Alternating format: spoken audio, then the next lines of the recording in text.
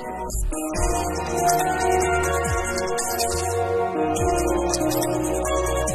right, man. So today we're talking about skin dyes. This is my second time recording this because I forgot to turn on my mic the first time.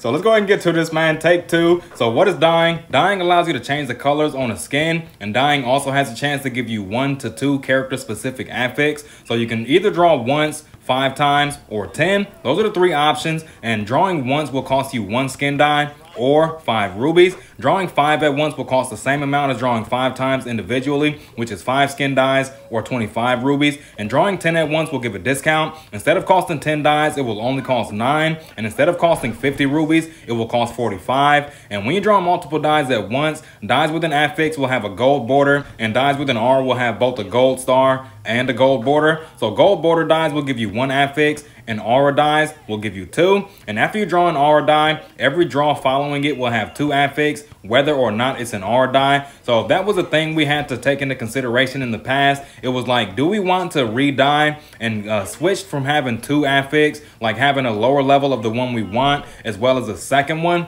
or try to re-roll and try to get um, a higher level of the one that we actually want and sacrifice having a second affix. That is no longer a thing. You don't have to worry about downgrading to just a single single affix anymore after you re-roll an aura dye, and it is beautiful, man. So let's talk about primary and secondary colors. The primary color is the color to the left, and the secondary color is the color to the right. At the bottom of the screen, you can choose to lock the main color, which guarantees your next draw will retain the primary color, but the secondary color will change. This also comes with an increased cost. So cost for one draw will increase from one dye to three dyes, or from five rubies to 15 rubies. Cost for five draws will increase from five dyes to 15, or 25 rubies to 75 rubies, and the cost for 10 draws will increase from 9 dyes to 27 dyes or 45 rubies to 135 rubies. That is a huge increase, so make sure that's something you actually want to do before you decide to make the commitment. So moving on to affix, as previously mentioned, drawing a dye has a chance to give an affix. There's a 25% chance to draw an affix, and there are three levels to every one. So proficient, the blue rarity is the lowest level. Exquisite, which is purple rarity, is the second highest level. And wonderful, which is orange rarity, is the highest level. And these affix, once again, are character specific and they upgrade your abilities. They upgrade staples as well. Like I know Fadeaway 3 has an affix. I know that um follow-up shot has an affix.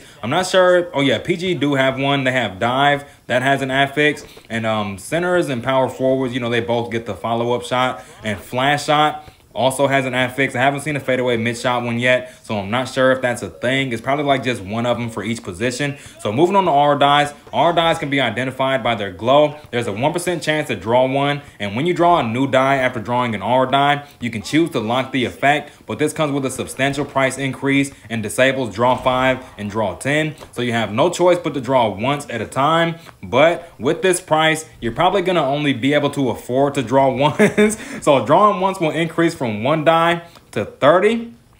So like I said, quite the big commitment. Make sure it's something you actually want to do because that is no longer a necessity for you to have two affix on your skin. So you can choose to lock both the primary color and the effect, but the price will increase by even more. So drawing will increase from 30 dies to 40 or from 150 rubies to 200 in order for you to lock the main color as well as the effect. So let's talk about custom dyes. You can use a custom dye to change the colors of your skin to colors of your choice. You don't have to rely on RNG if you get your hands on a custom dye. They're quite expensive though. And if you don't already have an aura, a custom dye cannot give you one. There is no option for a custom dye to give you an aura. So if you want to have an aura on your custom dye, you want to make sure you have one before you decide to customize it to your liking because if you customize it and then you wish you had an aura, you're going to be re-rolling and you're going to end up wasting your investment on the custom dye. So after a custom dye, your affix will remain unchanged. You don't have to worry about losing your affix from doing a custom dye. So before you decide to do a custom dye, because these things are so expensive, man, you want to make sure you already have your uh, aura.